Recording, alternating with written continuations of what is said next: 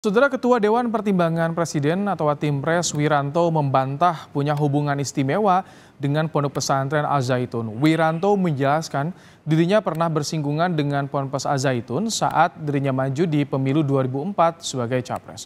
Ia mengaku sering berkampanye ke Pondok Pesantren, salah satunya Al Zaitun.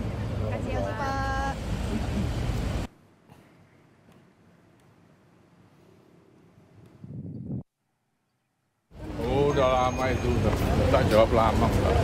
Ada bantahan mungkin Pak?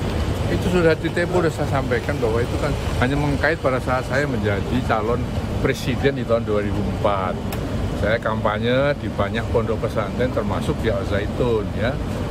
Dengan demikian maka saya memberikan eh, berbagai kebijakan yang akan saya bangun sebagai calon presiden waktu itu dan pada saat pemilu memang suara saya cukup besar di sana. Itu aja. Setelah itu memang saya nggak ada kaitan apa-apa dengan itu ya.